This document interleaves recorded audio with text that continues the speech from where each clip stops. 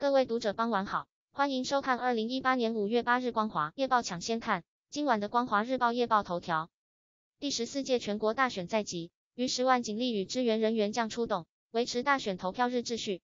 警方也呼吁民众提早投票，在履行选民义务后，早点回家，在家等待成绩。国际新闻：脸书近来卷入重重丑闻，包括用户资料外泄、恐怖主义内容等。最近更有研究显示，脸书的朋友建议功能也能协助恐怖分子互相结识，无意中为他们布下全球性联系网络。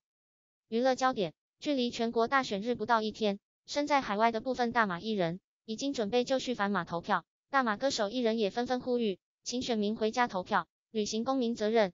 回家吧，一起投下神圣的一票。